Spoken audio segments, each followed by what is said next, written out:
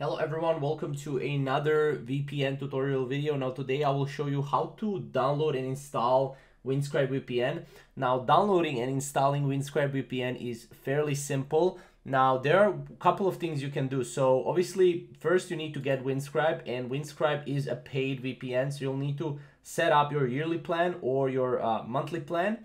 And what you'll need to do after you download it, you will just need to go and add uh, a install it obviously to your computer and then add an activation code, right? Or activate the, the Windscribe VPN. That's all you need to do, right? So that's how you can install and set up Windscribe VPN. But what you can also do is you can also do it uh, and uh, install it on your Chrome.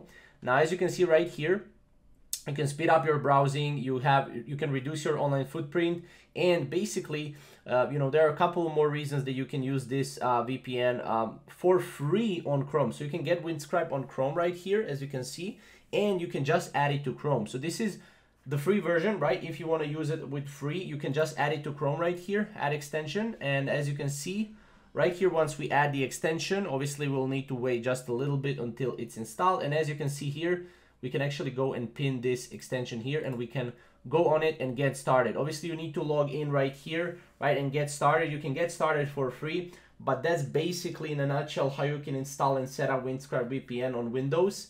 Now on Chrome and on Windows, it's pretty much the same, but all you have to do is just go and log in. Once you install it, you have to log in, you have to sign up in order to go and in order to completely set up your Windscribe VPN very simple. Obviously if you have any questions regarding the uh, you know installation or regarding anything else uh, additional steps i can guide you through that. Just comment down below and yeah that's pretty much it. So if you have any questions comment them down below subscribe to our channel and we'll see you in the next video about vpns